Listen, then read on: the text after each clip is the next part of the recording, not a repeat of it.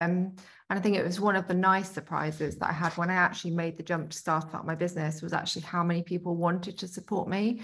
Because up until that point, I didn't really get a lot of positivity.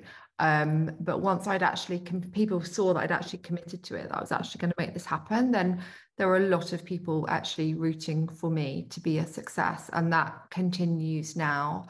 Um, I think, you know, there, there's always this kind of mentality that you support and root for the underdog. And I think I've very much been seen as the underdog in the legal industry. And and, and there's lots of people that really want the change that I talk about and that I fight for to actually become a reality. Um, and that's meant that I've I've had a, a, huge amount of support in what I'm doing, um, which completely outweighs the negativity now.